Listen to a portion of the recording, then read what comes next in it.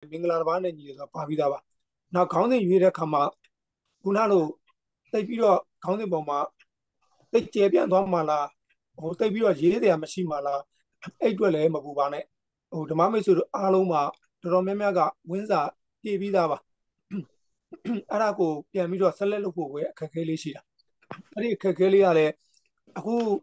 ကိုယ်တိုင်ကိုကြတကယ်ရေးပြီးအမှန်မှန်တော့ဝမ်းသာစရာပြောရမယ်ဆိုလို့ရှိရင်ဓမ္မမိတ်ဆွေတို့ အဲကိုရေးရမယ့်ခေါင်းစဉ်ပေါ်မှာကိုရွေးချယ်တဲ့ခေါင်းစဉ်ပေါ်မှာအခုလိုစိုးရိမ်မှုလေးတွေများလာတယ်ဆိုတာဒီပေါ်မှာကိုကတကယ်ထိုက်တိုက်တန်နဲ့အမေကိုရအောင်ယူတော့မယ်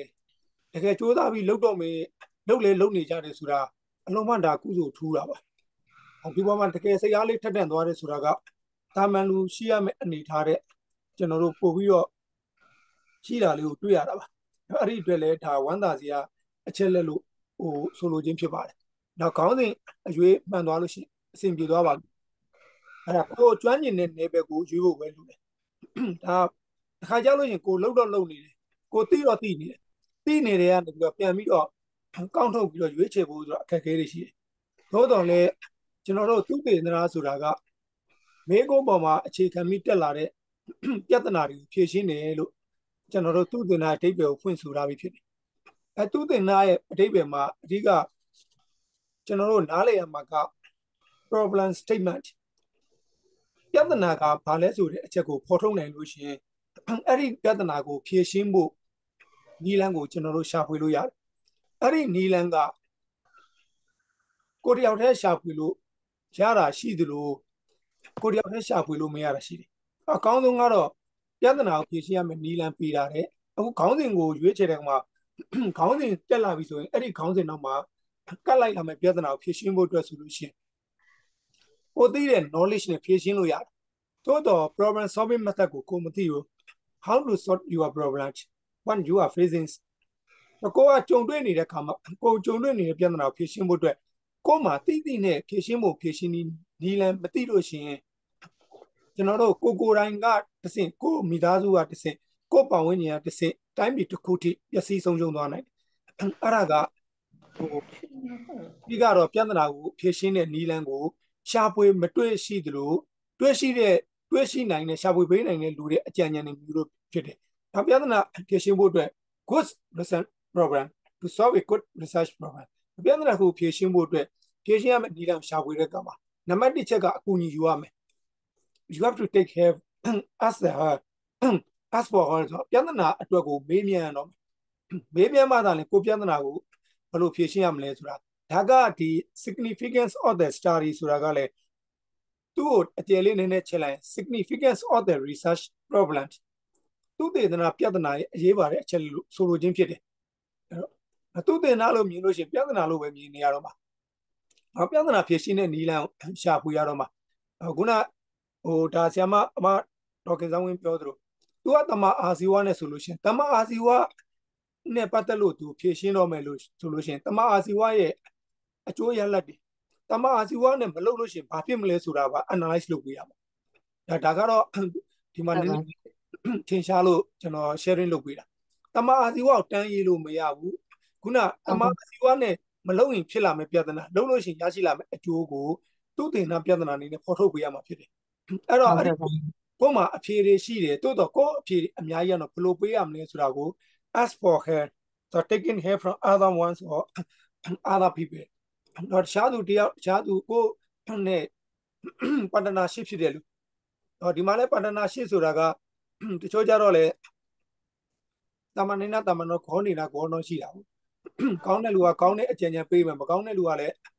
ကိုကိုတဲ့ตาကိုတဲ့အစဉ်ပြေမကြိုက်တဲ့အိတ်တမစ္စည်းအများဆုံးမြန်မာလူမျိုးတွေဒါကျွန်တော်က random နဲ့ပြောတာမဟုတ်ပါဘူးသူတင်နာရပြောတာပါ အိတ်တမစ္စည်းအများဆုံးမြန်မာလူမျိုးဒုတိယအများဆုံးအိန္ဒိယလူမျိုးတတိယအများဆုံးကြတော့မှဘင်္ဂလားဒေ့ရှ်တော့အများဆုံး participate လုပ်တာကဖိလစ်ပင်းအဲ့လိုအဖြစ်တွေ့ရတာလေးကြောင့်ပြောပြတာအဲ့တော့နံပါတ်1ချက်အနေနဲ့ ask for her အကူအညီကိုတောင်းခံမယ်အကူအညီတွေယူရမယ်အဲ့ဒါမှ good research problem service ဆိုတဲ့ပြဿနာလေးတစ်ခုကိုဖြေရှင်းနိုင်မှာနောက်ဘာလို့ရမလဲပြဿနာဖြေရှင်းဖို့အတွက်ကိုယ်စာမြတ်မြတ်ဖတ်ရမယ် အပြဿနာကဘာလဲဆိုတာသိဖို့အတွက်ကိုကိုယ့်ရဲ့ခေါင်းစဉ်နဲ့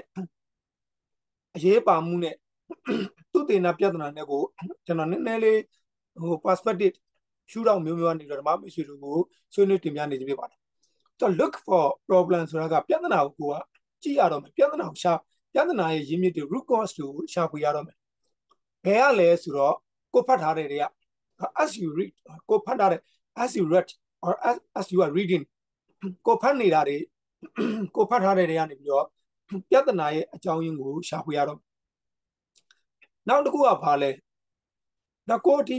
ဖြည့်ရှင်းပြီးသွားပြီအဲ့ဖြည့်ရှင်းတဲ့ပြဿနာကမှန်ကန်တဲ့ဖြည့်ရှင်းတဲ့နီးလန်းနဲ့ဖြည့်ရှင်းလိုက်လားဆိုတာကိုပြန်လည်ပြီးတော့သုံးသပ်ဒါတော့ look at your wrong conclusion or your past conclusion အဲ့ဒီအလေးတစ်ခုကိုပြန်ပြီးတော့ကြည့်ရမှာဖြစ်တယ် ဟောတိပြီးသားတိပြီးသားနေပြီးတော့ဖြည့်ရှင်းရတဲ့ကိစ္စနောက်ကိုမကျွမ်းကျင်တာကိုကိုမလုပ်ပါနဲ့ဆိုတာကိုယ့်ရဲ့သူ့စင်နာစာရန်ပြီးမြောက်ဖို့အတွက်ကြံ့ကြာဖို့ဖြစ်မှာတခါကြလို့ရှိရင်ကျွန်တော်တို့ဓမ္မမိတ်ဆွေတို့ရုပ်ရှင်သားတွေကကြည့်ဘူးလေဒါကိုရီးယားကရိုက်သွားတဲ့ကားလေးကကားနာမည်က The Love Story Harvard အဲ့ဒီတော်တော်နာမည်ကြီးခဲ့တဲ့ဇာတ်လမ်းတွေကတော့ love story ကိုပြောချင်တာတော့မဟုတ် အဲ့ဒီမှာ Harvard University မှာကျောင်းသားတွေစူးစမ်းတဲ့ခါမှာကျောင်းသားတွေတော်တော်လေးကိုခက်ခဲပင်ပန်းတာလေးကို तू ကနောက်ခံရိုက်ထားတာတော့တကယ်တော့အဲ့လောက်ထိဖြစ်တာတော့မဟုတ်ဘူးပေါ့နော်တကယ်စူးစမ်းတဲ့ခါမှာအဲ့လိုဟိုစိတ်ကြောင်ချောက်ကြားဖြစ်တယ်ဆိုတာတဲ့ကိုကငွေကြေးတစ်ခုကုန်ကြပြီးတော့တခြားနိုင်ငံတခြားတက္ကသိုလ်မှာလာတက်ကြတယ်ခက်ခဲတွေအများကြီးနဲ့နာတက်ကမှာကိုယ့်ရဲ့ကျောင်းလေးမပြီးဆုံးပါဆိုလို့ကိုယ့်ရဲ့အတန်းတွေ မပြီးမြောက်ပါဆိုလို့အောင်မြင်နဲ့မပြီးမောက်မြောက်ပါဆိုလို့အဲ့လိုစိတ်ညစ်စရာခက်ခဲတွေစိတ်ပြက်စရာခက်ခဲနေကြုံနေဆိုတာတကယ်ကြုံနိုင်ပါတယ်ဒါကျွန်တော်အတွေ့အကြုံတစ်ခုကိုပြောပြခြင်းဖြစ်ပါတယ်2015ခုနှစ်တုန်းကကျွန်တော်တင်နန်းကိုလူတယောက်ရောက်လာတော့ကျွန်တော်ရဲ့အသက်15နှစ်ဝန်းကျင်လောက်ကြီးပါတယ်တော့အချိန်အားဖြင့်တော့ 12နာရီစွန်းစွန်း12နာရီစွန်းစွန်းအချိန်လောက်တော့ရှိအဲကျွန်တော်ပထမမနက်ပိုင်းကျွန်တော်9နာရီကနေပြီးတော့12နာရီထိကျွန်တော်တင်နန်းသားတွေကိုတင်ပြီးတဲ့အချိန်မှာထိုင်ပြီးတော့ရေတစ်ခွက်တောက်အောင်ရှိသေးတယ်ရောက်လာရောက်လာပြီးတော့ငါသူကဟိုလက်ဆောင်ပစ္စည်းတွေနဲ့ကျွန်တော်ထိုင်ပြီးကြော့ကြော့တော့ကျွန်တော် surprise ဖြစ်သွားတော့ကျွန်တော်မတ်တက်ရက်လိုက်ဟောကျွန်တော်လည်းအသက်ကြီးတဲ့အတွက်ကြောင့်ဟိုလူကလည်းလူရတန်းဖြစ်တော့ဒါပေမဲ့ तू ကျွန်တော်ကိုထားပြီးစကားတွေပြောတာ သူ့စကားတွေကကြောင်ချောင်ချားတွေဖြစ်အဲ့တော့ဒီဘက်ကဆေးပညာလောကရဆိုလို့ရှိရင် Twitter ကိုအနည်းဆုံး30မီလီဂရမ်လောက်တိုက်ရမယ့်အနေထားဖြစ်ဟို Twitter ဆိုတာစိတ်ငြိမ်စီလို့ခေါ်တယ်အဲ့တော့10မီလီဂရမ်ထက်ကိုတိုက်ပြီဆိုတော့ဒီလူတယောက်ကဟိုဘက်ကနေပြီးတော့စိတ်ချမ်းမာရေးဆေးုံ level ရောက်နေသူဆိုရင်30မီလီဂရမ်လောက်တိုက်ရမယ့်အနေထားအောင်ဖြစ်နေ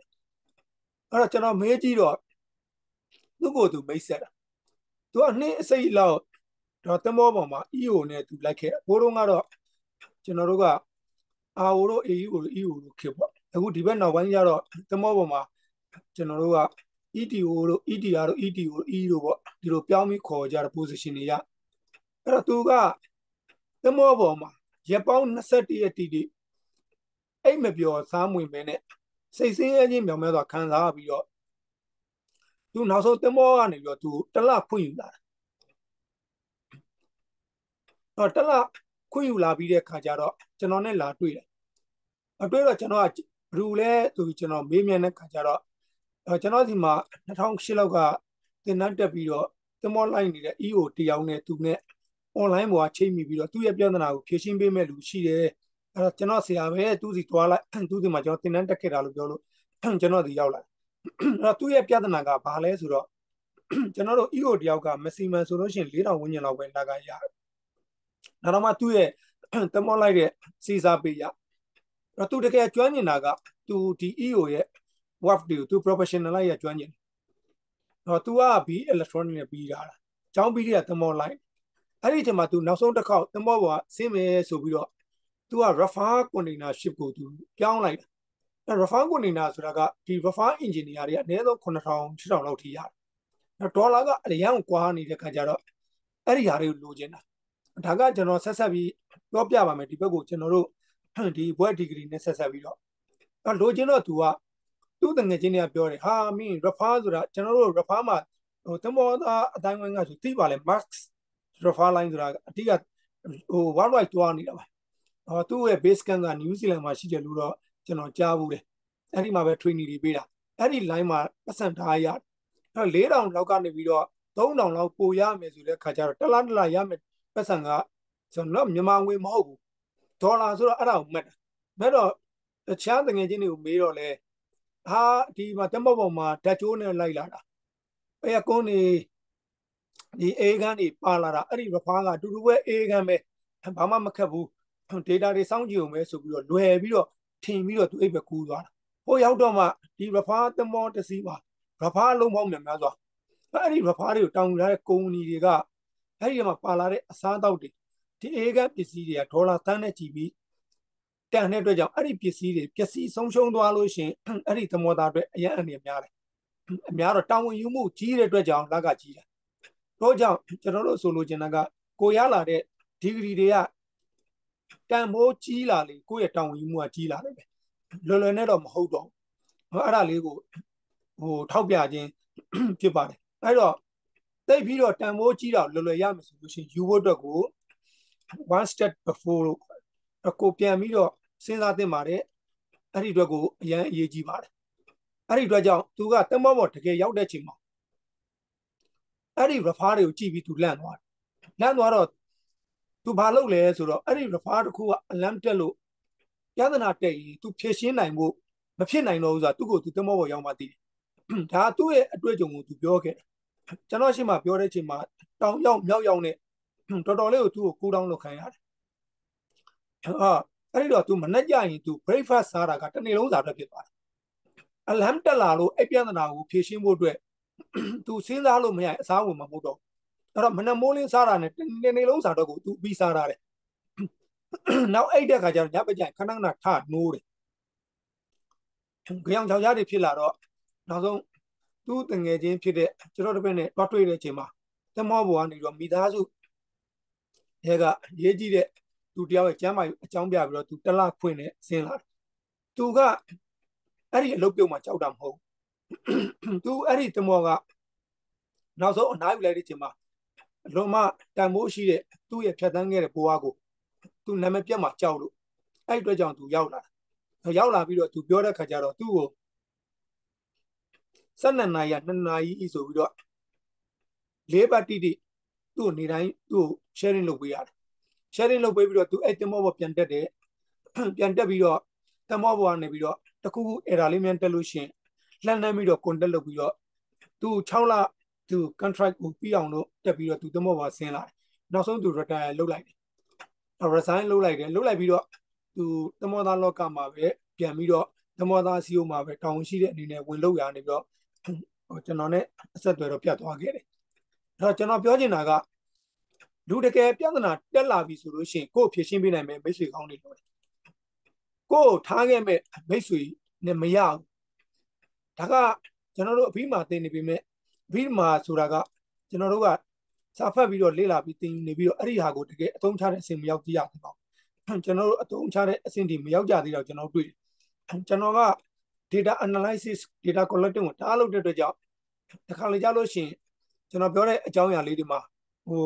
တစ်ဖက်လူတွေနစ်နာစရာထိခိုက်စရာလေးဖြစ်တယ်တိုးတော်လည်းပဲကျွန်တော်တို့ကဓမ္မပေါ်မှာအခြေခံပြီးပြောတဲ့ခါကျတော့ပုံကိုယ်ပေါ်မှာအခြေမခံပါဘူးဒါကြောင့်ကိုတခုလုံးမယ်ဆိုကိုလုပ်တဲ့အကြောင်းအရာတစ်ခုကအများကြီးကျွန်တော်တို့လေ့လာရမယ်နောက်ကိုကျွမ်းကျင်တဲ့နေဘယ်ကိုလုပ်ပါဆိုတာကကျွန်တော်ခုနပြောခဲ့သလိုပဲသူမကျွမ်းကျင်တဲ့နေဘယ်တစ်ခုကိုငွေကြေးတစ်ခုတည်းသူလှမ်းလိုက်တာ တိုးတော့ကျွန်တော်ကကျေးဇူးရှင်တယောက်အနေနဲ့ပြောပြတာမဟုတ်သူ့မှာကုညီဖြည့်ရှင်းပေးနိုင်မယ်လို့မရှိရင်သူဘလို့လို့ယူသွားနိုင်တယ်ဒါကသူ့ရဲ့ဂုံကိုသူထင်းရမှာဖြစ်လို့ကြောင့်သူယူသွားနိုင်တယ်ကျွန်တော်ဒီရောက်တော့တော့မှယူကြောင်ကြောင်ဖြစ်နေပြီဆိုတော့တော်တော်စကားထိမ့်ပြီးပြောရတာနောက်ကျွန်တော်တည်းလည်းသက်15နှစ်ဝန်းကျင်လောက်ကြီးတယ်အဲ့ဒီကာလကဒါကတချို့မယုံကြည်ဘူးလက်တွေ့မှယုံမယ်ဘာပဲပြပြလက်တွေ့မှ ယုံမယ်ဆိုလို့ရှိရင်ကျွန်တော်ကအဲ့ဒီလူတွေအားလုံးကကျွန်တော်တပည့်တွေဖြစ်တဲ့ကြောင့်တက်သေးပြီပဲဒါကိုရဲဝံ့ပြောရဲတယ်ဆိုတာကကျွန်တော်မှခိုင်လုံးလို့ပြောရဲတာအဲ့ဒီကမျိုးလေးရှိတယ်ဒါကြောင့်ကိုကျွမ်းကျင်တာကိုအရေးတည်ပြီးတော့ကိုမသိတာမသိသေးတဲ့ပြဿနာကိုဖော်ထုတ်မယ်သို့မဟုတ်မိတ်ဆွေကောင်းတွေတွေ့မယ်ဆိုလို့ရှိရင်ဓမ္မမိတ်ဆွေတို့ကောင်းကောင်းကြီးဖြည့်ရှင်းပေးနိုင်မှာပါ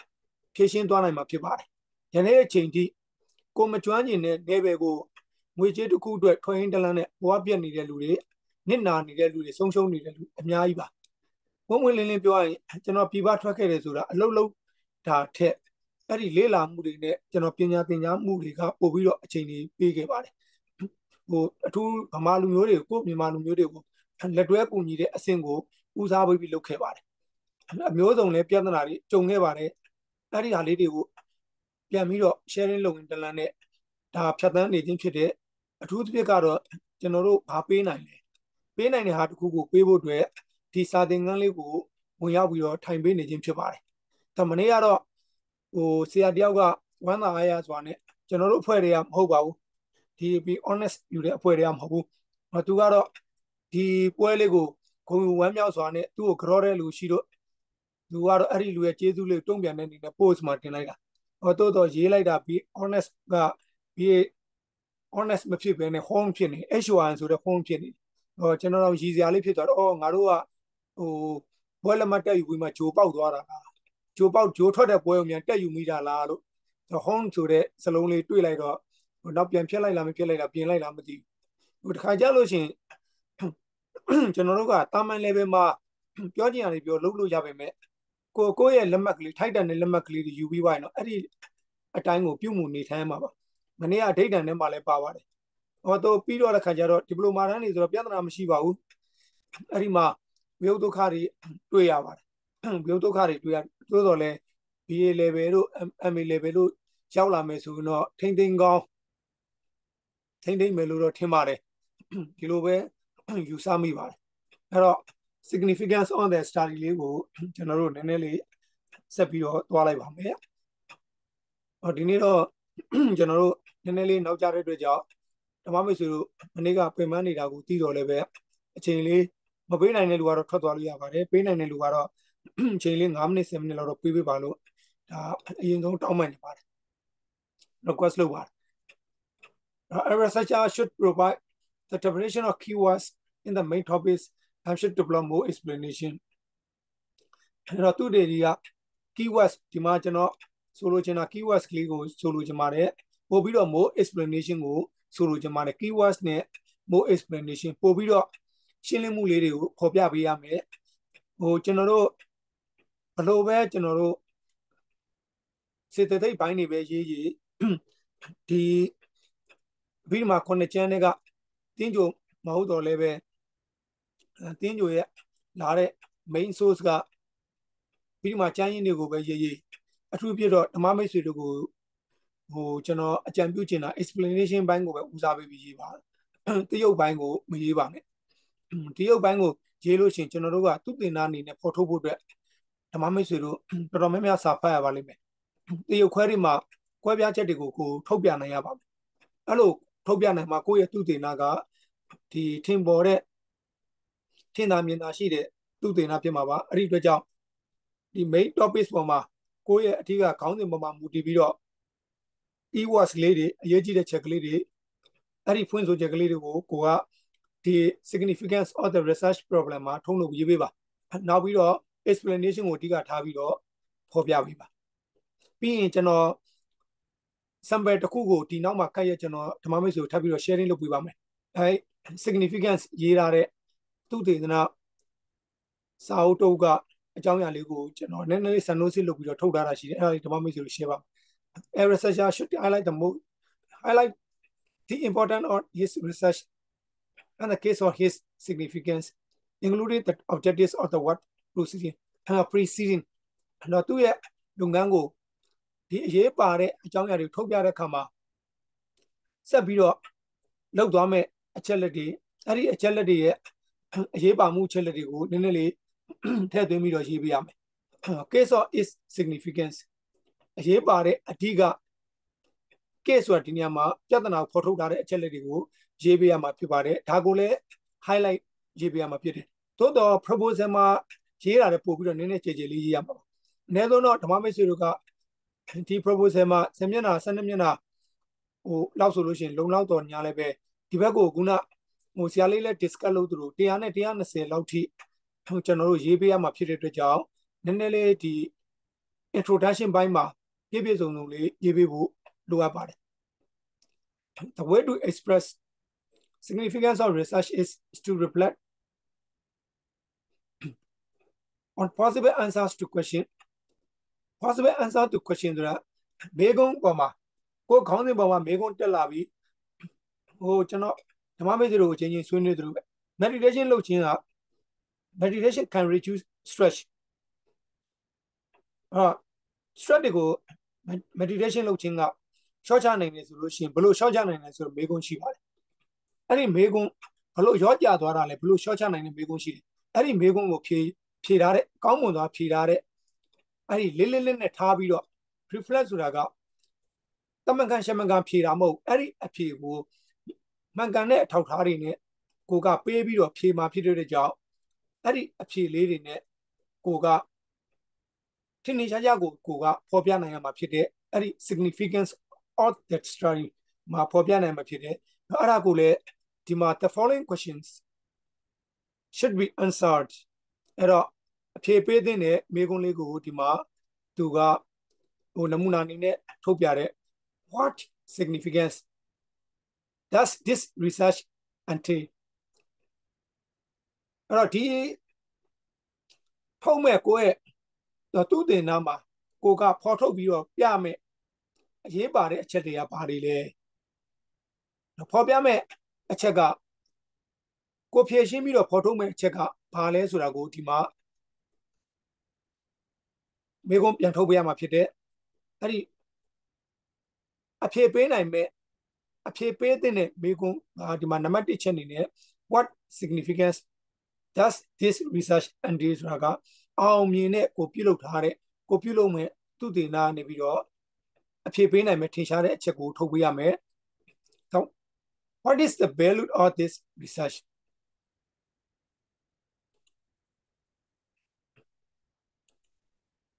နော်ကိုသူတင်နာရဲ့တန်ဖိုးကို evaluate လုပ်ထားတဲ့တန်ဖိုးကဘာလဲအဲ့အဲ့ဒီတန်ဖိုးကိုကိုကဒီမှာထုတ်လုပ်ပြီးတော့ဖော်ပြပေးရမယ်ဆိုလိုတာကတော့သူက the value ဆိုတာကတော့ဘာလဲဆိုတော့ objective နဲ့စင်လူရိုးမှာပါပဲ now how important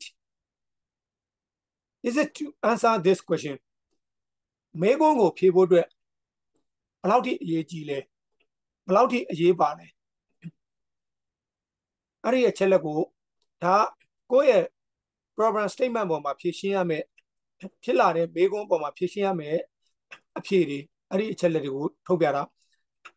why is doing this research important ဒီလောက်ဒီအရေးပါတဲ့သူတင်နာကိုအလုံးမတန်မိုးရှိတဲ့သူတင်နာကိုဘာကြောင့်ပြုလုပ်ရတာလဲအဲ့ဒီအချက်ကလက်ကလေးတွေ significance of the story မှာပါမှာဖြစ်ပါတယ်ဒါကတော့ highlight အနေနဲ့ထုတ်ပြပေးခြင်းဖြစ်ပါတယ်ဓမ္မမိတ်ဆွေတို့ကျွန်တော်တင်ပြဆွေးနွေးခဲ့သလိုပဲ if you come to your introduction so your research paper almost finished ကိုကဒီဟာကိုကောင်းကောင်းမွန်မွန်လုပ်နိုင်တယ်ဆိုလို့ရှိရင် introduction ကိုကောင်းကောင်းမွန်ရေးနိုင်တယ် chapter 1ကိုကောင်းမွန်ရေးနိုင်တယ်ဆိုရင်ကိုယ့်ရဲ့သူတည်နာသည်ပြီးလောက်ထိနေပါဖြစ်တယ်လို့ဓမ္မမိတ်ဆွေတို့ဆွေးနွေးခဲ့တဲ့အတိုင်းဓမ္မမိတ်ဆွေတို့ဒီဟာလေးတွေရေးဖို့တော့ပါပါမဲ့ချက်တွေကတော့ introduction အောက်မှာ ကျွန်တော်တို့ chapter တစ်ခုတိုင်းတစ်ခုတိုင်းမှာခေါင်းစဉ်တစ်ခုကိုတင်ပြီးသွားလို့ရှင် introduction ပါမယ်ပြီးလို့ရှင် conclusion ပါအဲ့ဒီ conclusion ကလည်းဒီ chapter လေးလောက်ကိုပဲ highlight လုပ်ပြီးတော့ညွှန်းဆိုတဲ့ conclusion ဖြစ်ရမယ် introduction ကလည်းကိုဒီ chapter လေးထဲမှာပဲရေးမဲ့အကြောင်းအရာကိုညွှန်းဆိုတဲ့ thesis statement ဖြစ်ရမယ်လို့ဆိုလိုခြင်းဖြစ်ပါတယ်ဒါကမပါမဖြစ်ပါမှာဒါ chapter 1မှာ introduction significance of the study ပါမယ် problem statement တွေပါမယ် aims and objective ပါမယ်နောက်ပြီးတော့ method of the study ပါမယ်အဲ့လောက်ဓမ္မမိတ်ဆွေတို့ဖော်ပြပေးရမှာဖြစ်ပါတယ်အဲ့လောက်ကလေးကိုရေးတဲ့အခါမှာဒီ introduction မှာခုနှစ်မျက်နှာခုနလိုပဲ proposal လိုပဲ comment ခုနှစ်မျက်နှာ12မျက်နှာကတော့10မျက်နှာ20လောက်ထိရေးလို့ရပါတယ်။ဘာကြောင့်လဲဆိုတော့ BA B honest level ကိုကျော်ပြီးတော့ MA ဖြစ်တဲ့ကြောင့်သူသတ်မှတ်တဲ့ အတိုင်းအတာလေးတွေကိုဖြည့်မိအောင်ရေးပေးရမှာဖြစ်ပါတယ်။ဒါကတော့ background significance ကိုရေးရတဲ့ဓာတုသေနကြံတစ်ခုကနေပြီးတော့ထုတ်လုပ်ထားတာပါဒါသူ့ရဲ့သူ့တင်တာခေါင်းစဉ်က a study of the dynamic meditation practice dynamic meditation practice mean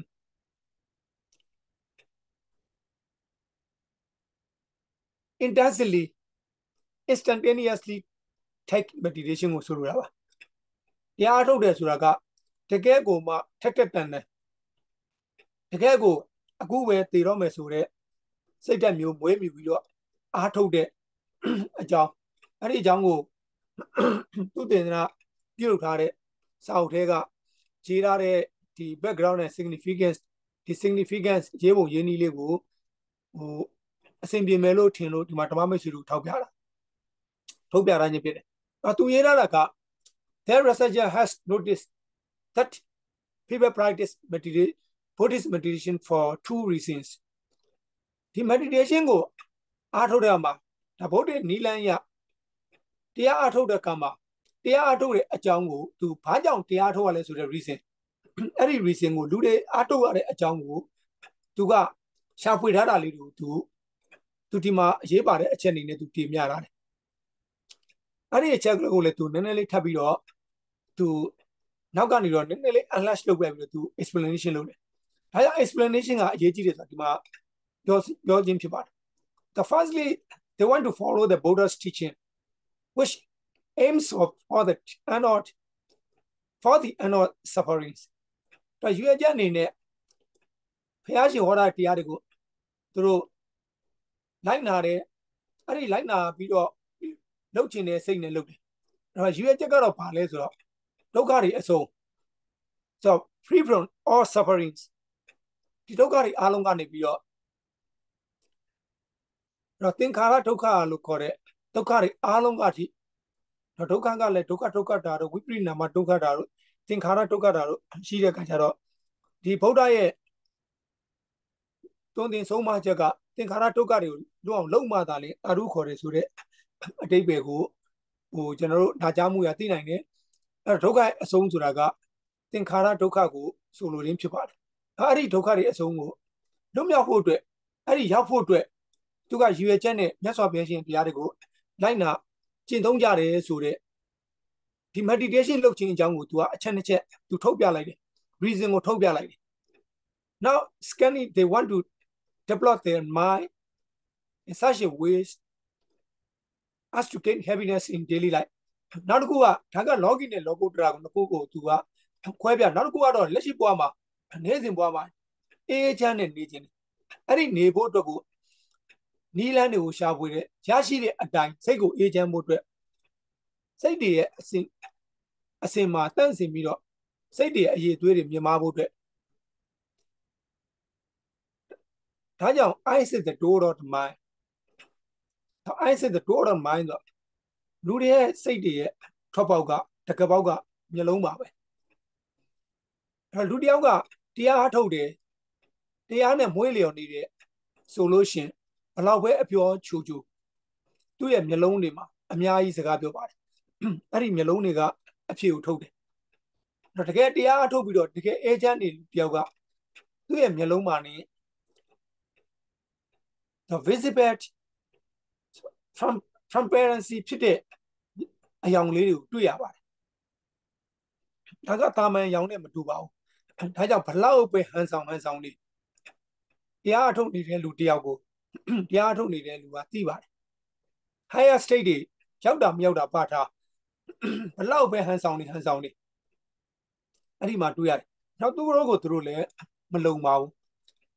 အမြဲတမ်း သူတို့ကဟန်ဆောင်နေတော့ညာလည်းပဲအမြဲတမ်းစိုးရိမ်မှုတွေနဲ့ကြောက်လန့်မှုတွေနဲ့နေရတယ်ပေါ်လာမလားပေါ်လာမလားကိုဟန်ဆောင်လာတာတွေပေါ်လာမလားပေါ်လာမလားဘာဖြစ်လို့လဲဆိုတော့အပြီးမှာဘယ်လောက်တင်တင် daily life မှာ apply မလုပ်ဘူး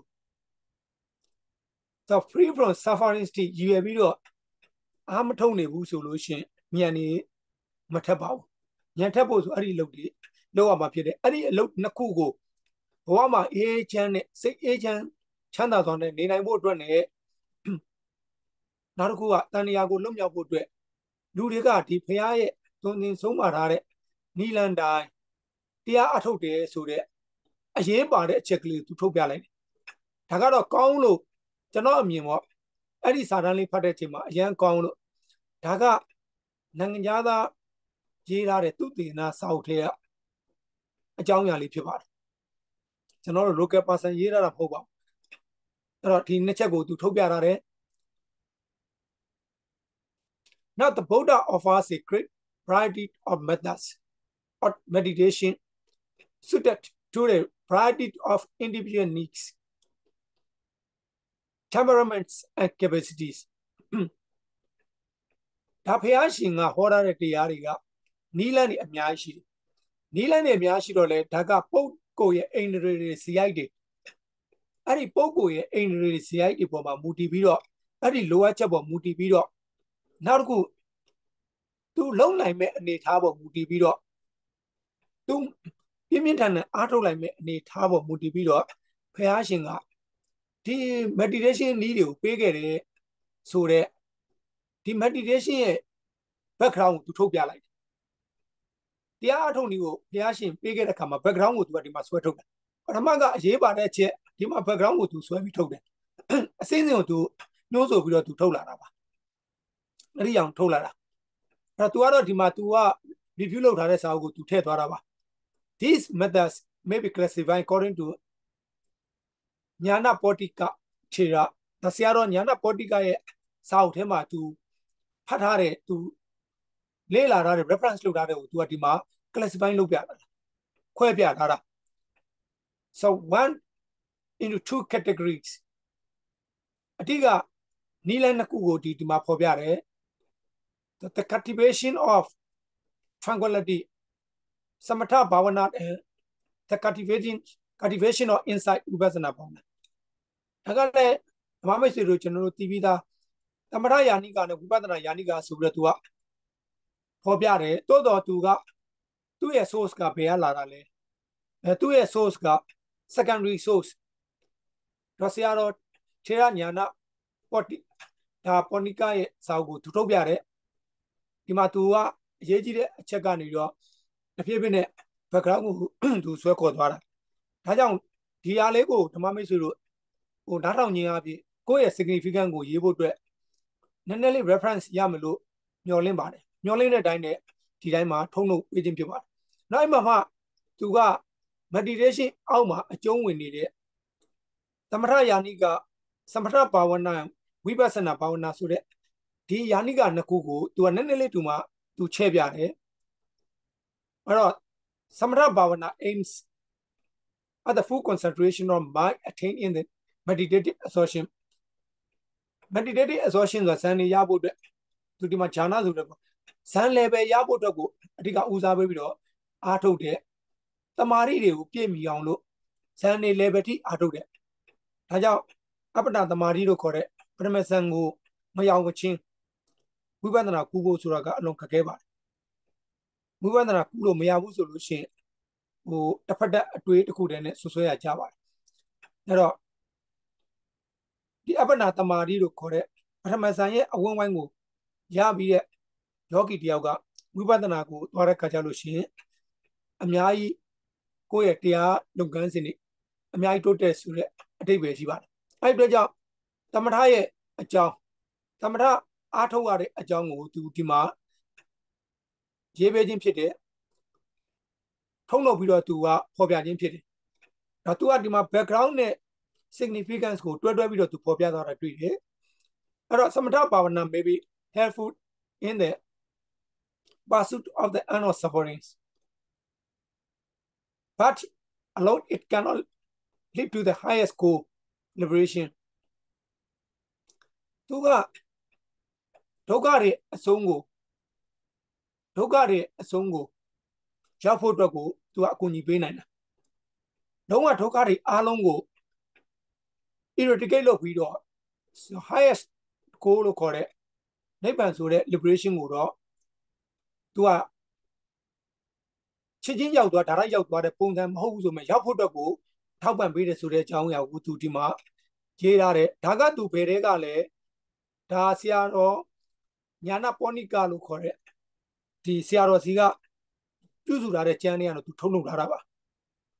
ထုံးလုပ်ချက်ကိုလည်းသူကပထမရေးထားပြီးသားဖြစ်တယ်ဆိုတော့ however people who practice this kind of meditation gain the gain the benefit of tranquility and happiness in their lives တော့ဒါကြောင့်တချို့ပရိဒေတာစိတ်တဲ့ကုံတော်တွေပွားနေလို့ရှင်အဲသူတို့ရဲ့စိတ်ကလေးတွေတည်ငြိမ်ပြီးတော့အေးချမ်းနဲ့တော်တောင်ပြဿနာလောက်တော်တောင်ပြဿနာလောက်ကိုသူတို့တွေအေးဆေးတည်ငြိမ်နဲ့ဖြည့်ရှင်းနိုင်တဲ့အစဉ်လေးတွေတွေ့ရတယ်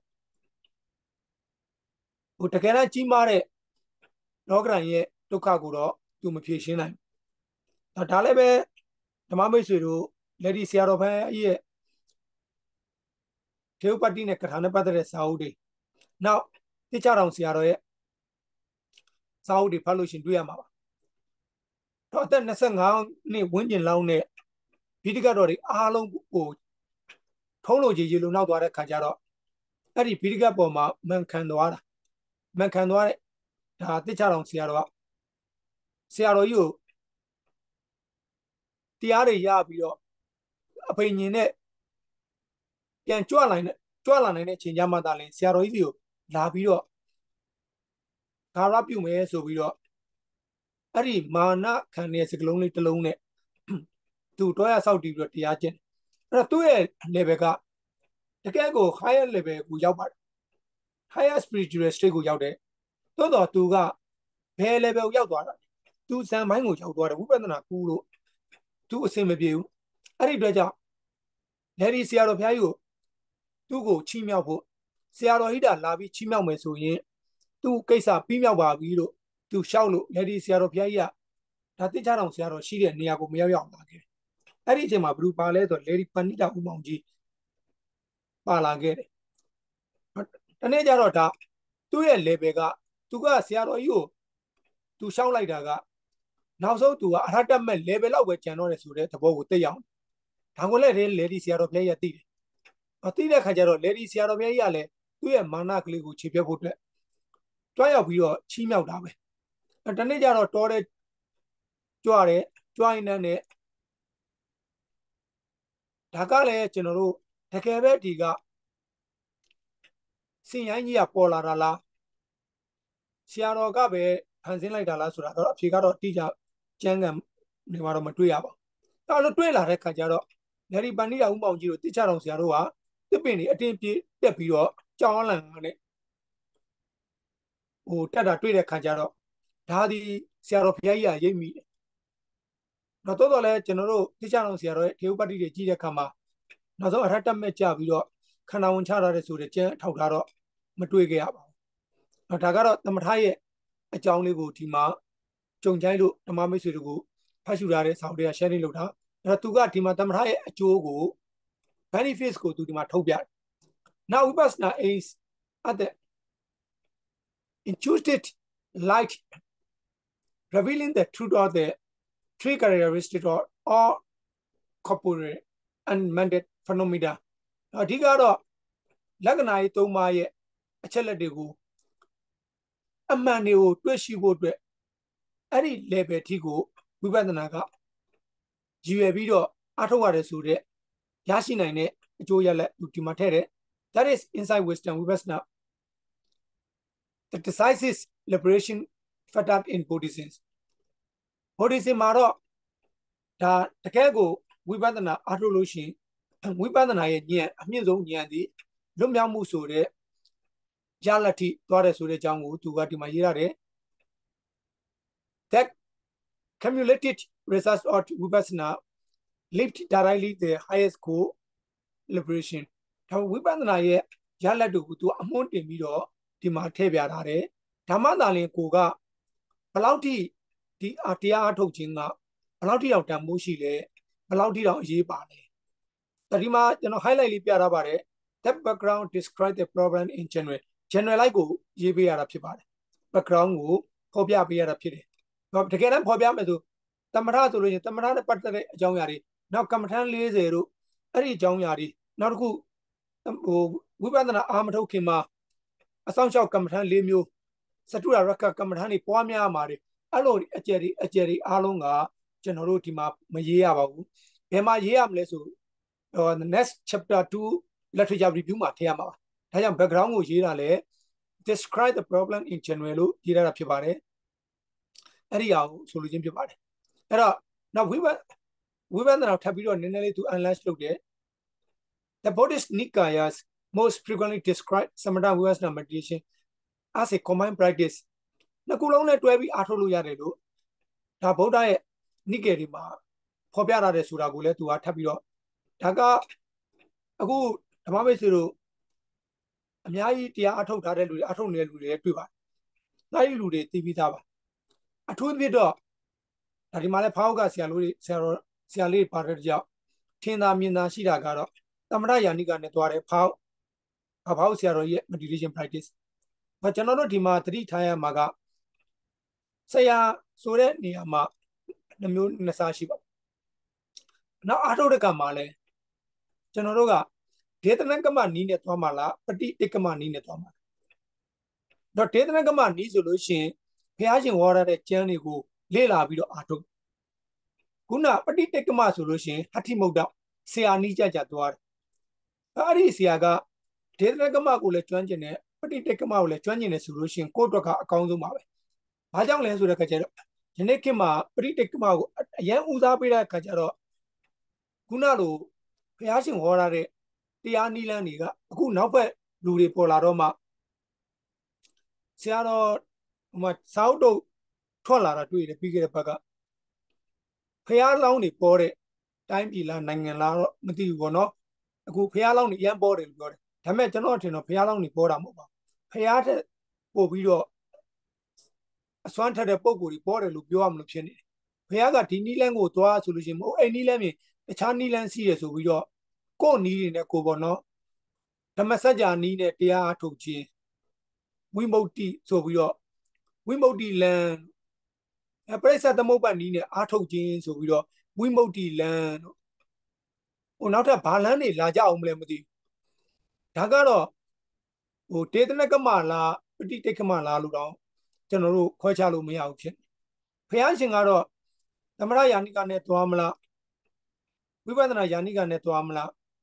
သမထနဲ့ဝိပဿနာကိုတွဲပြီးသွားမလားအားထုတ်ရမယ့်နီလန်းကိုလည်း သတိပဋ္ဌာန်တို့ဝိတုဒ္ဓိမကျမ်းကြီးတို့အကုန်လုံးကထင်ရှားရှိနေတာသို့တော်လည်းအရင်ရက်ကပြောသလိုပဲဒီမိုးညင်းကိုတော်လေးကဝိတုဒ္ဓိမကျမ်းကြီးကိုကင်ပြီးတော့တနိုင်ငံလုံးတွားရဆောက်တည်ပြီးအာထုတ်တော်မှသူ့အနေနဲ့ပေါင်းမြောက်မှုမရှိလို့နောက်ဆုံးလေဒီဆရာတော်ဘုရားကြီးစီရောက်တာပဲအဲ့တော့ပထမဒေဒနကမကိုကျွမ်းကျင်တယ်နောက်ပဋိတေကမဟိုဟဋ္ဌိမုဒ္ဒလို့ခေါ်တဲ့ဆရာနဲ့အနိကတင်ယူလိုက်တဲ့ခါကျဒါတော့မှပထမ ကျင်းနီတောင်ဘက်ကိုရောက်သွားတဲ့ချိန်မှာဝင်းပြဝင်းလျှောဖြစ်ပြီးတော့ဘောဓနာတပ်ပိုင်ရမဖြစ်ဘူးနောက်ပြီးတော့ဒီအာဝါဒတပ်ပိုင်ရမဖြစ်တဲ့ခါကျဝင်းရှောင်းဝင်းပြဖြစ်တဲ့ကြောင့်ဆရာတော်ဘုရားကြီးနေရီတဲ့ပြန်ကြွလာပြီးနောက်ဆုံးဒီမိုးညင်းတော်ရကိုရောက်သွားတဲ့ခါကျတော့မှစန္ဒိတိတိတရားမဟောစကားမပြောဆိုတဲ့ဂရိကိုနဲ့အဲ့ဒီမှာတရားနီလန်းလဲပေးနေရလဲပေးလိုက်တဲ့ခါကျတော့မှသုံးနှစ်နဲ့အရတ္တမကြတော့ဒါကလည်း မိုးညင်းဆရာတော်ဘုရားရဲ့ထေဥပတ္တိကရာမှာဖတ်လို့ရှိရင်တွေ့ရပါလိမ့်မယ်ဒါတွေကတော့ကျွန်တော်ထင်တာတွေလျှောက်ပြောတာမဟုတ်ဘူးကျွန်တော်တို့ဒီလိုဆရာတော်ကြီးတွေရဲ့ထေဥပတ္တိတွေကိုများစွာဖတ်လို့ရှိရင်အဲ့ဒီမှာရေးထားတာတွေ့ရလိမ့်မယ်အဲ့ဒီဟာကြောင့်ဒီမှာနည်းနည်းလေးဖြစ်ဆွပြီးပြောခြင်းဖြစ်တယ်အဲ့တော့ဒီတိုင်းတိုင်းကူဆိုလို့ရှိရင်ဒါသမထယာနိကကိုသွားတယ်နောက်ခုမြေစင်းဆိုလို့ရှိရင်သမထယာနိကကိုသွားတယ်နောက် ကျွန်တော်တို့ထင်ထင်ရှားရှားယနေ့အချိန်မှာထင်ရှားဆုံးနဲ့တက်တော်ထင်ရှားရှိပြီးတော့တရားတွေကိုအခုအချိန်ထိညွှန်ကြားပေးနေတဲ့ဘာဟုတ်ဆရာတော်ဘုရားကြီးသမထယာနိကနဲ့သွားတယ်သို့တော့ကျွန်တော်တို့ဝိပဿနာယာနိကနဲ့သွားတယ်ဓမောကုတ်ဆိုလို့ရှိရင်ဝိပဿနာယာနိကပဲအဲ့ဒီနီးနဲ့သွားတာခဏိကသမာဓိဆိုပြီးတော့ဆရာတော်ဘုရားကြီးရဲ့ဒါများသောအားဖြင့်ဥကြော့သိန်းကိုပေးတဲ့စီမှာလည်းတွေ့ရပါလိမ့်မယ်15မိနစ်လောက်အာနာပါနကိုရှုပြီးတော့နောက်ဝိပဿနာကိုကိုင်းတာ နောက်မာစီနီးဓမ္မာစီနီးကတော့ဟိုဓမ္မာဘောဓိမြန်ဆရာတော်ဘုရားကြီးလေအဲ့ဒီမှာပဲအားထုတ်ပြီးတော့မှနောက်ဆုံးဒုတိယကြိမ်သာသနာပေါင်းနဲ့ဝင်ပြီးတော့ဆရာတော်ဘုရားကြီးကတောထွက်သွားတာပါရွှေချောင်းကုန်းတောင်ကိုမဒီကိမနာတာစီရွှေချောင်းကုန်းတောင်ကိုပထမဆုံးတောထွက်ပြီးတော့တောရဆောက်တည်ပြီးတော့အထုတ်တာပါဒါဒုတိယအကြိမ်ပါဒါဆရာတော်ကြီးရဲ့ကျမ်းစာဒီမှာလည်းမဟာစီအနည်းနဲ့အထုတ်ခဲ့တဲ့တရားစစ်တာကတော့ ကျွန်တော်တို့ရွှေတောင်ကုန်းဆရာတော်ဘုရားဥပနိဒသူ့ကိုတရားစစ်တာဘာဒီဟာလေးတွေကိုသူဘဝခီးကန်ကျမ်းနန်းကထာဆိုတဲ့စာအုပ်ထဲမှာဆရာတော်ဘုရားကိုယ်တိုင်ရေးထားတာကိုတွေ့ရပါလိမ့်မယ်အဲ့တော့မဟာစီဒီကတော့ဆရာတော်ဘုရားကြီးကလည်းဒီအထူးသဖြင့်တော့မဟာဒီမဟာစီကတမထကိုလုံဝင်တဲ့ဝိပဿနာပါသွားတဲ့သူကတွဲရဲ့ကမ္မထမ်းလို့ဆရာတော်ဘုရားကြီးကတော့ဒီလိုတွဲဝိုက်ပြီးတော့ညှိုးဆိုတာဆရာတော်ဘုရားကြီးရဲ့ထေဝပတိကရာမှာတွေ့နိုင်တယ်။အဲဒါကသူက meditation ကိုဒီ background ကိုရေးတဲ့အခါမှာပြည့်ပြည့်စုံစုံသူဒီမှာ generalize ဆိုမဲ့ပြည့်စုံရေးထားတဲ့အခါမှာတမထနဲ့ဝိပဿနာကိုသူက frequently describe ဆိုတဲ့သဘောကိုသူဒီမှာဖော်ပြထားတယ် combine practice ဆိုတာဖော်ပြထားတယ်ထင်သာမြင်သာပြောပါဆိုလို့ရှိရင်မဟာစီပါပဲမဟာစီနီးကတော့တွားရင်တွားတဲ့မှတ်စားရင်စားတဲ့မှတ်ဆိုတာတွားတဲ့မှတ်နေတလန်းနဲ့တွားတယ်လို့မှတ်တဲ့အာယုံပေါ်မှာဧကကရာကြတာနဲ့ဝိပဿနာကိုချင်းချင်းရောက်သွားတာသူကဒီတဘောနဲ့သူကတွားတာ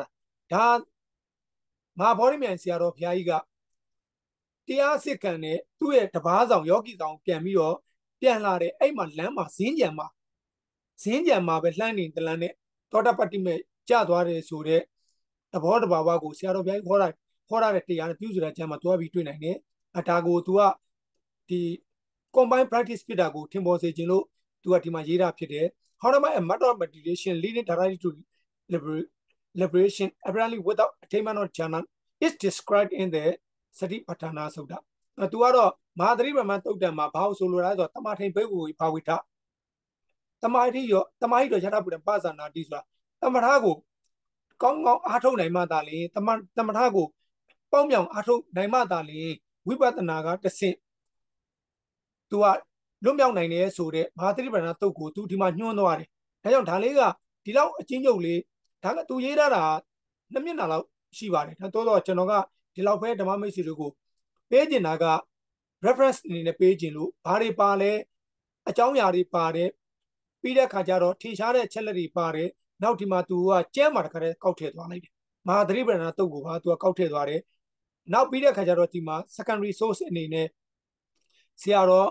ဒါညာနာပေါနိကရဲ့ကျမ်းကိုသူဒီမှာရေးထားတဲ့ကျမ်းကိုထုတ်လုပ်သွားတယ်အလွန်ကောင်းပါတယ်ဒါ background နဲ့ significance ရေးပုံရေးနည်းလေးဖြစ်ပါတယ်ဟိုအလွန်မှဟိုကျွန်တော်တို့ဟိုအတူယူတင်တယ်လို့ဟိုလိုက်နာပြီးတော့ရေးတင်တယ်လို့ကျွန်တော်ထင်ပါတယ်ဆိုတော့ဓမ္မမိတ်ဆွေတို့ခုနကြိုတင်ပြီးတော့ request လုပ်ထားတဲ့အတိုင်းနည်းနည်းလေးတော့ဆက်ပြီးတော့တောင်းခွင့်ပြုပါ aim some objective အခုန significance နဲ့ study study of significance ကိုတော့နည်းနည်းလေး the significance of research study of research program ကိုတော့ဓမ္မမိတ်ဆွေတို့လေးလေးနဲ့လေး ထားပေးပါအရေးကြီးပါတယ်။တော့သူကကိုခေါင်းစဉ်ကိုကိုထုံလို့တဲ့ခါမှာအဲ့လိုထုံလို့ပေးနိုင်မယ်လို့ဆိုတာ။နောက် aim some objective ကလည်းခက်တွတ်တွတ်လေးသွားလို့ရပါတယ်။ the aim some objective still when the study was conducted ဒါကိုဒီလေ့လာမှုတွေကိုဘာကြောင့်ခေါ်ထုတ်ရလဲဆိုတော့ကိုယ့်ရဲ့ရည်ချက်ကိုပြောပြရမယ် to study meditation in Theravada Buddhism လေ့လာတဲ့အကြောင်းအရာလေ့လာတဲ့ရည်ချက်ခုန dynamic meditation practice ကိုပဲ ဒါထပ်ပြီးတော့ကျွန်တော်ကိုးကားပြီးတော့ဖော်ပြထားတာဖြစ်ပါတယ် especially as present in the Satipatthana Sutta မဟာသတိပဋ္ဌာန်သုတ်တံမှာဖော်ပြထားတဲ့အကြောင်းအရာကိုပဲသူကအထူးပြုပြီးတော့သူလေ့လာတင်ပြခြင်းဖြစ်တဲ့ meditation practice ကို to conduct a study of dynamic meditation practice and it research and benefits for တော့ဒါကတော့သူ့ရဲ့သူ့နိုင်ငံမှာသူတရားအားထုတ်တဲ့ meditation team တစ်ခုကိုသူကဆိုလိုတာပါ for Lombard teen and his followers အဲ့ဒီမှာအားထုတ်နေတဲ့အဖွဲ့အစည်းနဲ့အဲ့ဒီမှာရှိတဲ့ပုံကိုယ်တွေညွှန်းဆိုတာဖြစ်တယ်အကျိုးရလဒ်တွေ result တွေထွက်ပေါ်လာတဲ့ဖြေတွေအကျိုးရလဒ်တွေဒီ dynamic meditation ကိုပြုလုပ်ခြင်းအဖြစ်လေ့လာတွေ့ရှိချက်တွေကိုသူဒီမှာရေးရတာဖြစ်တယ်ပထမအားဖြင့်တော့ aims ကိုရေးတယ်နော် objective ကိုတပြည့်ပြည့်ချင်းကပ်သွားတယ် aims ကတော့မရိမဟာသရိရဏတုတ်ကိုအားထုတ်လို့ရှိရင်ဟိုလေ့လာတွေ့ရှိရမယ့်ချက်ကိုသူ ရေးရတယ်ရရမယ့်အကျိုးရေးတာနောက်ပြီးတဲ့အခါကျတော့သူက dynamic practice ထိထွက်တယ် dynamic practice ဆိုတာကသူခုနဖော်ပြထားပြီးသားယာနိကတခုကိုသူဆွဲသမင်းမဲ့အာတာပီဝရိယဆိုလိုတာပါ dynamic meditation ဆိုတာမိမိအကျိုးစီးပွားရှာဖွေခဲ့တဲ့မိမိဇနီးသားများအတွက်ဟိုအစာအာဟာရအသက်ကိုမငဲ့ပဲနဲ့ရှာဖွေတကယ်တော့တရားအထုတ်တာကိုအတာပီနဲ့အထုတ်ရမယ်ဆိုတဲ့သဘောပါ now to conduct a study of dynamic meditation in light of the methods of the Steve Bernard and Nobel A. Fobert တော့ Megan ရှိပါ meditation ဒီမှာသတိပဋ္ဌာန်သုံးမှာပါတဲ့နီလန်းနေနဲ့ Megan ရှိပါကိုသူကအဲ့ဒီဟာရရှိလာမဲ့အထုတ်ခြင်းအပြင်အဲ့ဒီမှာပေးထားတဲ့အကျိုးရလဒ်တွေကိုသူကဒီမှာ contact လုပ်ထားတယ်သူဒီမှာဖော်ပြထားတဲ့ဖော်ထုတ်ထားတဲ့အချက်လက်တွေရရှိမဲ့အကျိုးကိုသူကရေးသွားတာဖြစ်ပါတယ်ဒါကျွန်တော်ရေးထားတာမဟုတ်ပါဘူးခုနဆရာတော် ပြုစုထားတဲ့ကျန်တဲ့ကထုံးလို့ထားခြင်းဖြစ်ပါတယ် now scope and limitation of research ဒါအရေးကြီးသွားတဲ့အခန်းကတော့ the scope defines the boundaries of the research ကိုသူတင်တဲ့ level တစ်ခုကိုတဲ့သတ်မှတ်လိုက်ခြင်းဖြစ်ပါတယ်ထုတ်ပေါ်လိုက်ခြင်းဖြစ်ပါတယ်အဲ့ဒါ the scope of this research is to study about dynamic meditation practice in Myanmar Buddhist tradition သူကမြန်မာနိုင်ငံကိုလာပြီးတော့လေ့လာသွားတဲ့ပုံကိုလည်းဖြစ်တဲ့အတွက်ကြောင့် အထူးပြတော့ထေရဝါဒရဲ့အားထုတ်နည်းလို့သူဒီမှာတက်ကန့်တက်လိုက်တယ်။ဘာကြောင့်လဲဆိုတော့ meditation practice တွေအများကြီးပါအခုနောက်ပိုင်းတော့ဒီ Buddhist psychotherapy ဆိုပြီးတော့အိန္ဒိယလာတဲ့ယောဂကျင့်စဉ်တွေနဲ့ယောဂကျင့်စဉ်တွေကိုလည်း meditation ဆိုပြီးတော့ခေါင်းစဉ်တက်လာတာရှိတယ်။နောက်တစ်ခုဒီမာယာနာကလည်းနီလန်းတွေကလည်းရှိတယ်။ဇင်ဝါဒကလည်းရှိတယ်။အဲ့ဒီဝါဒရှိတဲ့ခါကျတော့ तू က scope ကို तू ကထောက်ပြတယ်သူ့ရဲ့ meditation practice က in Myanmar Buddhist tradition မြန်မာနီးရမြန်မာနိုင်ငံမှာရှိနေတဲ့ထေရဝါဒဗုဒ္ဓစစ်စစ်နီးလန်းရသူအားထုတ်တယ်ဆိုတော့ scope ဖမ်းထားတယ် however it is difficult to keep separate Myanmar Buddhist tradition from other Theravada Buddhist tradition since Myanmar Buddhist tradition is a brand of worldwide Theravada Buddhist tradition အဲ့တော့ Theravada ဗုဒ္ဓဘာသာမှာဒါခွဲထုတ်ဖို့အတွက်ခက်ခဲတော့ညာလည်းပဲတကယ် Theravada ဗုဒ္ဓနဲ့ပတ်သက်လို့ ကျင့်စဉ်ကနိုင်ငံတွေအများကြီးရှိတော့လည်းပဲမြန်မာနိုင်ငံမှာကတော့ပို့ပြီးတော့ထင်ရှားရှိတဲ့ကြောင့်မြန်မာနိုင်ငံနီလန်ကိုသူကဖော်ထုတ်ထားခြင်းဖြစ်တယ်ဆိုတဲ့သူ့ရဲ့ scope ကိုသတ်မှတ်တယ် in this regard to complete the study of meditation practice all sources of Theravada tradition which concern with Mahasirvana Sutta is needed to be included အဲသူက scope ကလည်း Mahasirvana တုတ်တန်ကိုပဲသူထပ်ပြီးတော့ scope ပြန်လုပ်တယ် the 10 Myanmar Buddhist tradition entitled as was in main body of this research means all of Pali source which were approved in 1954 by Sikh Buddhist Council called in Myanmar and Myanmar Buddhist Tradition Test အဲ့တော့သူကတော့သူ့ရဲ့ scope ကိုသူကနောက်ဆုံးသူဘာလုပ်လိုက်လဲဒါသတ္တတန်ခါမူလက်ကနေပြီးတော့သူအထက်ကပါဠိတွေကိုသူထုံးလုပ်တယ်ဒါမဟာသတိပ္ပံတုတ်ကိုထုံးလုပ်တယ်လို့သူဒီမှာသူ့ရဲ့ကျမ်းကိုသူ scope ဖမ်းသွားပေးတာဖြစ်ပါတယ်ဒါကတော့ problem statement ကတော့ကျွန်တော်တည်တဲ့ဓမ္မမိတ်ဆွေတို့ကို sharing လုပ်မှဖြစ်တယ်နောက်ပြီးတဲ့ခါကျလို့ရှိရင်အေးကျွန်တော် literature review ကိုတည်တဲ့ရှင်းမှာဖြစ်ပါတယ် literature review ကခက်တဲ့အတွက်ကြောင့် literature review ကိုပိုင်သွားရင်ဓမ္မမိတ်ဆွေတို့ရေးရတာအဆင်ပြေသွားမှာဖြစ်ပါတယ်အဲ့ဒီအတွက်ကြောင့်ဟိုဒီမှာနည်းနည်းလေးလေးအချိန်နောက်ကျတဲ့ပုံမူတည်ပြီးတော့ကျွန်တော်နည်းနည်းလေးပြုလုပ်သွားတာဖြစ်ပါတယ်အဲ့ဒီအတွက်ကြောင့်နည်းနည်းလေးသိခံပေးဖို့ request လုပ်ချင်ပါတယ်သို့တော့ကျွန်တော်တို့ဒီမှာဖြစ်ဆက်ပြီးပြောချင်တာဓ မ္မမိတ်ဆွေတို့လည်းရေးနေကြပြီအချို့ခေါင်းစဉ်တွေလည်းရွေးပြီးကြပြီရွေးလည်းရွေးနေပြီရေးနေတယ်ပြီဖြစ်တဲ့ကြောင့်ကျွန်တော်တို့ chapter ခွဲတဲ့ခါကြလို့ရှိရင် literature review မှာပဲအခန်းတစ်ခွဲပါ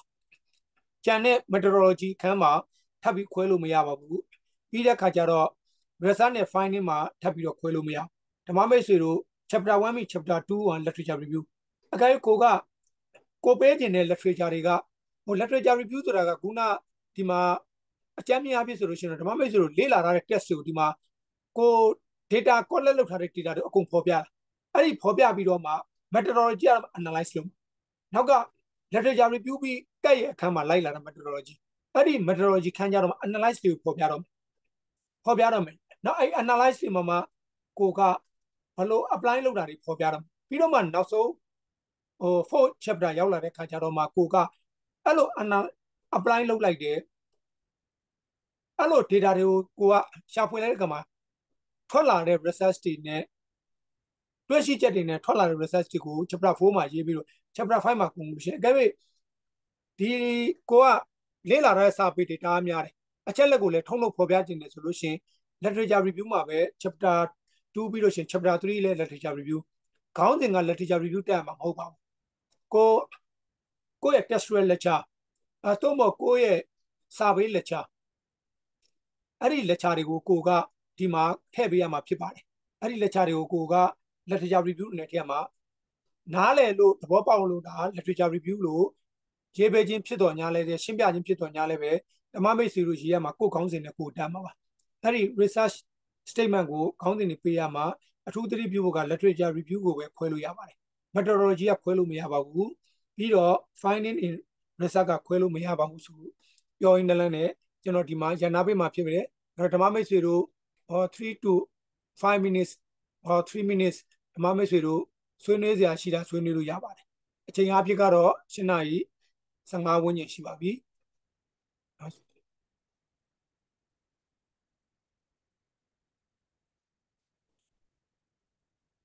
ဆရာတခုလောက်မေးပြသေးဆရာ ဟုတ်ကဲ့ပါဆရာဟုတ်ကဲ့ဟုတ်ကဲ့ဆရာဟို chapter တွေအားလုံးပြီးမှလေ methodology ကကြတော့ဟို chapter တက်ဆရာမလို့တော့ဘူးပေါ့နော်ဆရာအဲကျွန်တော်တို့ met- အခုကျွန်တော်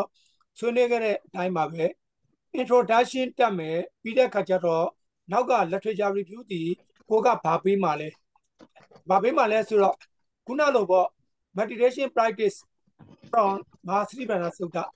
မဟာသတိပဏ္ဏသုတ်ကနေတော့ meditation practice ကို review အနေနဲ့ကိုကရေးတော့မယ်ဆိုတော့အဲ့လိုခေါင်းစဉ်မျိုးလေးတာမှာနမူနာအနေနဲ့ အဲပြီးတဲ့အခါကျတော့ literature review ကဟိုထပ်ပြီးတော့ချဲ့ခြင်းနေအဲ meditation practice ကိုဘယ်ကထုတ်ပြီးထုတ်ကျင်တာလဲဆိုတော့ meditation practice analysis from ဟိုကျွန်တော်တို့ without the map က without the map ကနေပြီးတော့ meditation practice ကိုထပ်ထုတ်မယ် literature review မှာပဲ chapter 1 2ထပ်ပြီးခွဲတာ methodology ကြတော့ကိုကဘာတွေဘယ်လိုလုပ်မှာလဲဆိုတော့ how to analyze ပေါ့နော် how to analyze ဟုတ်ကဲ့ uh, meditation practice ဒါ meditation practice ကို analyze လုပ်တယ်ဆိုတဲ့အကြောင်းခေါင်းစဉ်ပုံစံမျိုးဒါ sample အနေနဲ့နောက်ပြီးတော့မှ apply in daily life line တွေ အဲ့ line လိုပေါ့အဲ့လိုအခါမျိုးခေါင်းစဉ်ခွဲသွားပြီးတော့မှ conclusion ကျွန်တော်တို့ summary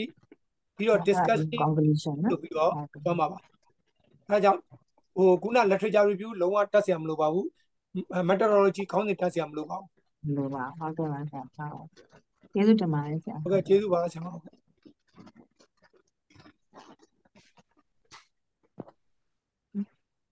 Hello, sir. Hello. ဟုတ်ကဲ့မင်္ဂလာပါဆရာရွှေ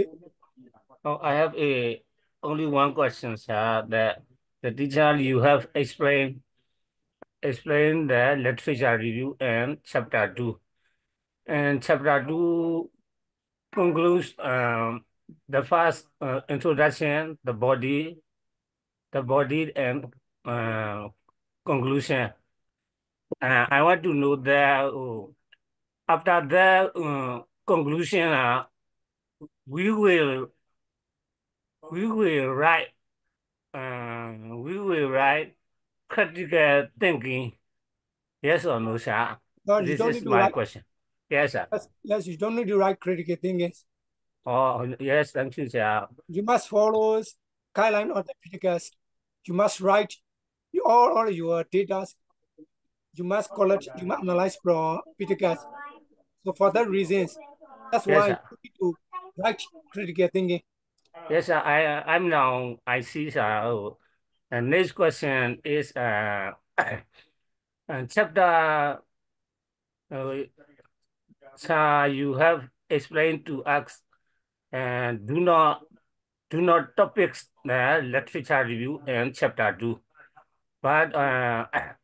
oh, do not write the topics the literature review, but uh, we will write uh, the we will write the reason of the literature review only and chapter two. Sir. This is yes or no, sir? yes so i mean you don't need to write directly topics named like a literature review you Oh, have yes, to sir. write what you learn from the textual lectures from the critics or secondary source Pali Yes, sir. Yes, sir. So I mean Pali commentary, sub commentary, and sub sub commentary. Yes, sir. Yes, sir. Yeah. I mean like this. Oh yes, uh, yeah. uh, I understand now that the every chapter have the um sub uh, subtopic and divided into sub sub of topics and and other other accessory. Yes, I see, sir. And after that, I, I'm now have only one question next. Uh, uh, uh, there are hundred pages over. We we write in uh, this this I mean this is so how to how to divide that and divide the page- pages chapter one how many pages chapter two how many pages I know I know a little bit sir. actually don't have any limitation how to how many pages you have to write I I think That depends. that Yes. depends on your your idea your Yes. idea your idea your pictures your idea just- you have to write your pictures Oh yes, I yes, thank you. Uh, just now uh, I divided um, chapter uh, chapter one, uh, 20, 20 pages, chapter chapter two, 30 pages, chapter four, uh, 15 pages, chapter five, 20 pages, uh, chapter six, um, uh, we will write uh, uh, conclusion and essence. Uh, uh, remaining pages. I plan this. Uh, this is uh, good or bad, sir? this is fair for Yes, This is- uh, standard for research paper writing Oh, yes, sir. Thank you so much, sir. And congratulations to you. We explained that this is knowledge um, sharing for us. Thank you, sir, so much, sir. thanks for sharing and asking your good questions and suggestions Yes, sir. Thank See you all. Yeah. Yes, sir. Thank you so much, sir. See you. See you, Young Center uh, and Coffee Bar. Thank you so much. And and and the Dhamma friends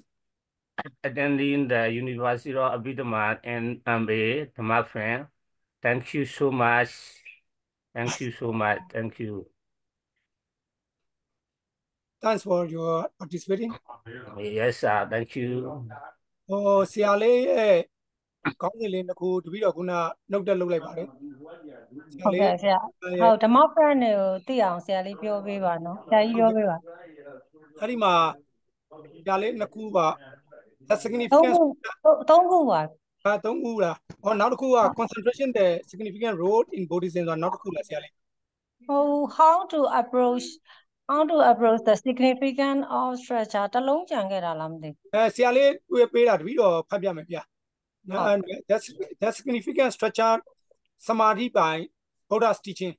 ဟုတ်တယ်ဆရာ နောက်တစ်ခုက how to approach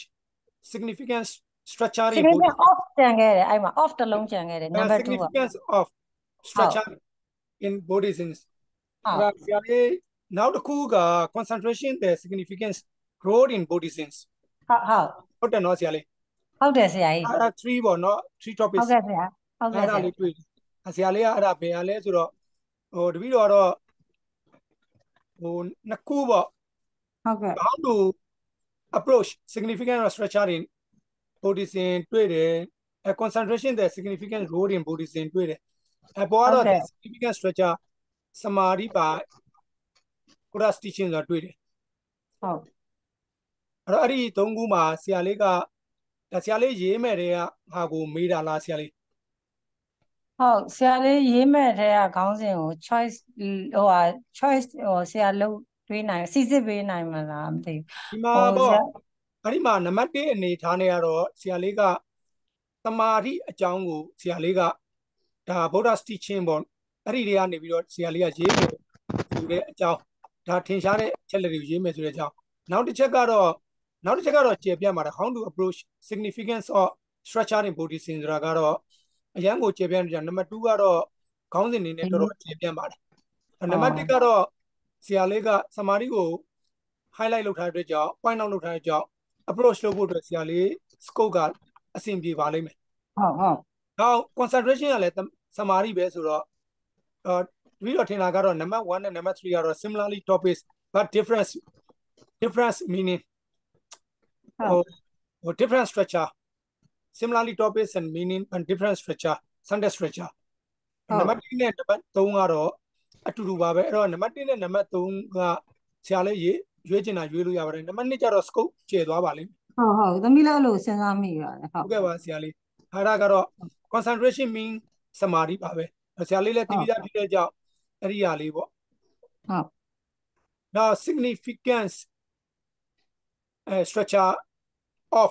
samadhi အဲ့ဒီမှာလည်းဆရာလေး off ထည့်ရမယ်နော်ဆရာလေး ဟုတ်ကဲ့ဟုတ်ကဲ့ဆရာ နံပါတ်1မှာလည်း the the significant structure of samadhi by buddha's teaching ဟုတ်ကဲ့ဆရာ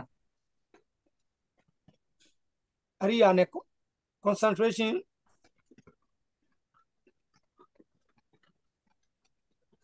Sir, I would like to know methodology is uh, just only data. not only data but also analyze and evaluating. Okay, sir. Not that there are three kinds of research writing, methodology, research method, research methodology, research method, research design. So oh. research method and research designs are included under the under art research methodology. Oh. Research methodology အောက်မှာပဲ method ဆိုတာရှိပါတယ် design ဆိုတာရှိတယ်တပိတော့ methodology ခန်းကြလို့ရှရင်အဲ့ဒီဟာလေးကိုနည်းနည်းလေး differentiate လုပ်ပေးပါမယ်အဲ့ဒါဆို okay. ဟိုတခြားဓမ္မဒါမိတ်ဆွေတွေရောဓမ္မ brother and sister တွေပါပို့ပြီးတော့ methodology ခန်းရအောင်ရေးဖို့လွယ်သွားပါလိမ့်မယ်ရေးအောင်လို့တပိတော့ကတော့အခုအစိပ်ပိုင်းလေးတွေပေါ့လောလောဆယ်ဆရာလေးတို့နဲ့ဒီဓမ္မမိတ်ဆွေတွေကိုတပိတော့ပေးတဲ့ message ကလောလောဆယ်မှာတစ်တွေပုံမွေးတာပါအုပ်တွေပုံမွေးတာပါပုံပြီးတော့တဖြည်း ဖြည်းနဲ့ foundation ကဘလို့တိုင်ကဘလို့အမိုးဘလို့မိုးမယ်အကာဘလို့ကာမလဲအော်အိမ်တစ်လုံးအကျန်းနဲ့ဖြစ်သွားပြီဆိုလို့ရှိရင် decoration ကတော့ all or all decoration depends on all of your idea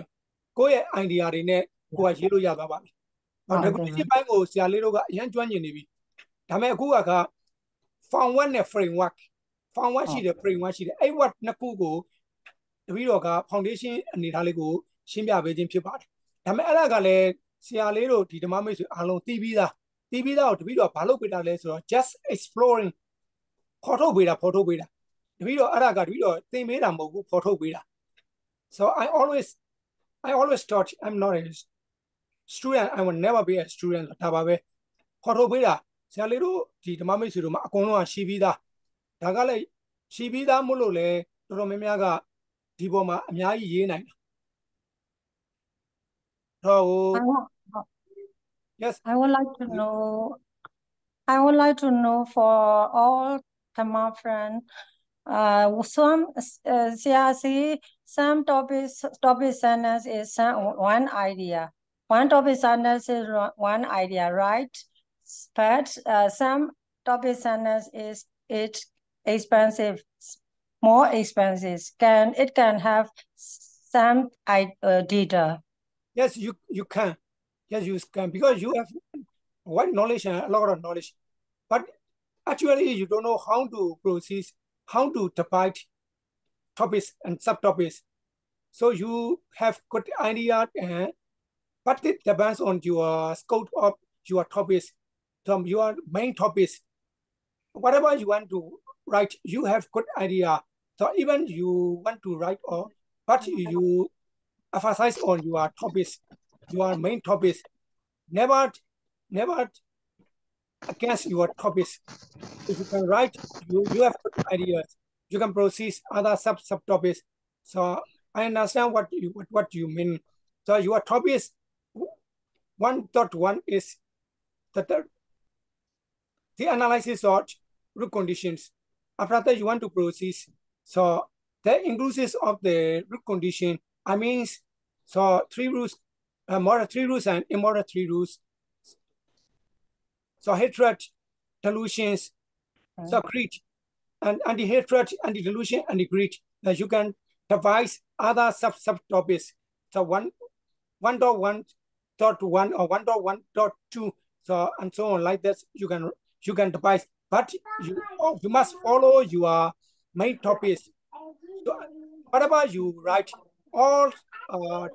your topics, main topics.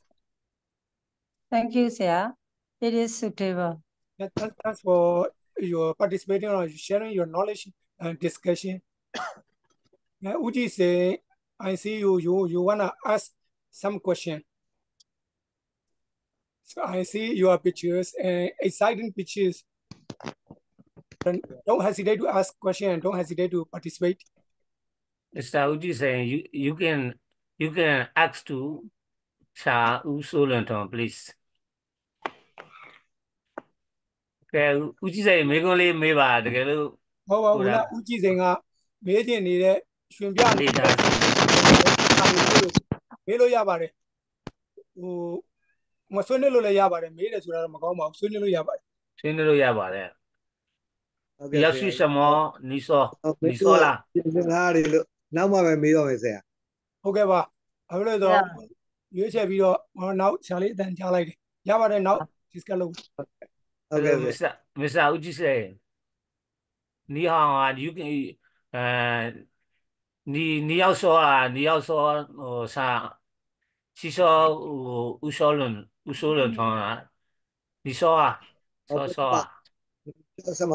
ဒီကျောင်းဆမဘုရားတော် ဟုတ်ကဲ့ပြင်မှန်းဆွေးနွေးဒီမှာသေးလေ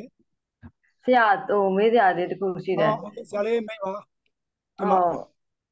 ဘာလဲ proposal ကဆရာပေးတဲ့ဟို format တိုင်းပဲတင်ပြီးရမှာလားဟုတ်ပါတယ်ဆရာလေးအဲ့ဒီ format တိုင်းမှာအာတပြီးတော့အဲ့ format ကဆရာကြီးကိုတင်ပြပြီးတော့ဆရာကြီးရဲ့ဟို instruction တိုင်းဆရာကြီးရဲ့ guideline တိုင်းဟို format ကလေးတစ်ခုကိုတပြီးတော့ထုတ်ထားတာပါသို့တော့ uh, this format is for only research proposal but not for the thesis paper so i will proceed next step thesis paper writing the process of how thesis many pages yeah how many pages of this so you can write at least 10 pages Ah, to okay 12 pages and after that they they give the ဟိုအဲ့ဒါပြီးမှပဲခေါင်းစဉ်ပေးမှာလားဆရာ အဲ့ဒါကခေါင်းစဉ်ပေးမှမဟုတ်ဘူးဆရာလေးခေါင်းစဉ်က choose yourself ကိုယ့်ဘာကိုရွေးရမှာပါဆရာလေး yeah တခါလေးရေးပြီးမှတခါလေးထည့်ရမှာ proposal လေးကိုတခါလေးထည့်ရမှာလားအဲ့လိုလားဟုတ်တယ်ဆရာလေးကအခု proposal ရေးပြီးဆိုခေါင်းစဉ်ထွက်မှဆရာလေး proposal ရေးလို့ရမှာဟုတ်အော်ဟုတ်ဟုတ်ဟုတ်အဲ့ဟုတ်ခုခေါင်းစဉ်တစ်ခုကိုဆရာလေးဟိုကိုကို scale ဖြစ်မဲ့อ่ะပေါ့ခုနတပီတော့ရှောက်သလိုပဲ scale ဖြစ်မဲ့ခေါင်းစဉ်တစ်ခုကိုဆရာလေးရွေးလိုက်ရွေးပြီးသွားလို့ရှိရင်အဲ့ဒီခေါင်းစဉ်တိုင်းဆရာလေး proposal တင်သို့တော့အဲ့ဒီခေါင်းစဉ်မှာဆရာလေးနောက်ပိုင်းမှာနည်းနည်းလေး verify လုပ်ချင်ဆိုပြောင်းညင်တာလေးတွေဖြည့်ဆွက်ချင်တာလေးရှိလို့ရှိရင် အဓိကတော့ဆရာလေး proposal ကိုနားလည်သွားတယ်ဆိုတဲ့ format တစ်ခုဆရာကြီးကဒါဆရာလေးတို့တပီတော့တို့အကုန်လုံးနားလည်သွားတယ်ဆိုတဲ့အကြောင်းဆရာကြီးကလိုချင်တာလိုချင်ပြီးတော့ခေါင်းစဉ်မှာနောက်ပိုင်းနည်းနည်းလေးပြောင်းလဲလုပ်ချင်တယ်ဆိုဆရာကြီးကိုတိုက်ရိုက်လျှောက်ပြီးတော့ဟိုဆရာလေးကိုတိုက်ရိုက်ပြောပြီးတော့မှခေါင်းစဉ်လေးနည်းနည်းချင်းလို့ရတယ်။လောလောဆယ်မှာ proposal method တွေ statement တွေ procedure တွေကိုသိဖို့အတွက်ကိုတက်ကလို့တစ်ခုကိုတင်ပြပေးရတဲ့သဘောပါဆရာလေး ဟုတ်ဟုတ်။အဲ့ဆရာလေးခေါင်းစဉ်အရင်ဆုံးပြပါ။ဟိုခေါင်းစဉ်ကဖြစ်နိုင်လို့ရှင်တော့ကိုယ့်ဘာကိုယ်ပေါ့တင်ပြတာတော့ခေါင်းစဉ်တစ်ခုပဲတင်ပြမှာ။ဟို be honest လို့သုံးခုတော့မဟုတ်တစ်ခုပဲတင်ပြီးတစ်ခုပဲကြည့်ရမှာ။သို့တော့ပို့ပြီးကောင်းတာလေးတွေရလို့ရှရင်လေရဖို့အတွက်နှစ်ခုသုံးခုလောက်ဆရာလေးရွေးချယ်တာလို့ရှရင်ပို့ပြီးတော့တွေးလို့ရတယ်တခါကျရင်ကိုကတစ်ခုလောက်တယ်နောက်စားတွေဖိုင်းတလန်းနဲ့နောက်တော့ကောင်းတာလေးထပ်တွေးတတ်တယ်တွေးလို့ရှရင်ဆရာလေးချင်းလို့ရတယ်သို့တော့အဲ့ဒါကမူရင်းခေါင်းစဉ်နဲ့တော့ နည်းနည်းလေးစီလျော်နေတာပိုကောင်းတယ်သို့တော့ခေါင်းစဉ်ကိုချိန်မယ်ဆိုလို့ရှရင်ဆရာကြီးကိုကြိုတင်ပြီးတော့အကြောင်းကြားမှာဖြစ်ပါတယ်ဟုတ်ဟုတ်ဟုတ်ဟုတ်ဟုတ်ဟုတ်သဘောပေါက်ပြီဆရာဟုတ်ဟုတ်ကျေးဇူးပါဆရာလေးဟုတ်ဟုတ်